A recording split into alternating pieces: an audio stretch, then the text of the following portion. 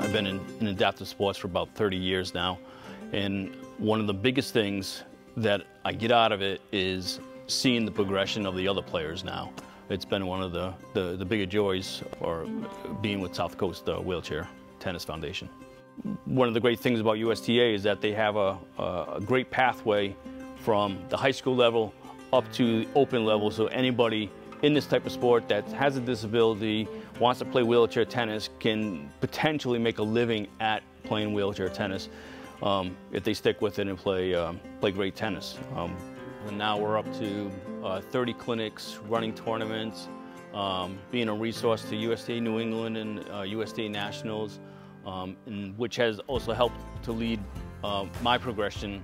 of tennis and it allowed me to also be my other outlet, what which I like to do, is to um, organize adaptive sports. And the easiest sport that I found that's transitioned into inclusion that I can play with anybody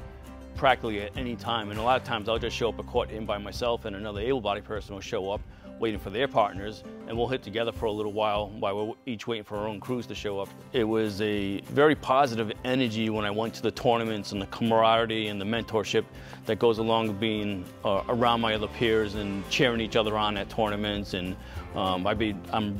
been friends with several of these people for many years now, um, just from tournaments, and I have friends, you know, up and down the East Coast the thing I like about it is just it's a way for me to keep in shape. It's a way to you know uh, to socialize with with my other friends, um, and to you know to meet new people um, relatively easily. Uh, and as I mentioned before, with the inclusion part of it, I don't have to go through uh, a lot of uh, hoops and steps to get other people to play with me. I just show up and play with just about anybody. Introducing somebody and seeing them progress through our program is probably one of the, the biggest things I get out of our um, program.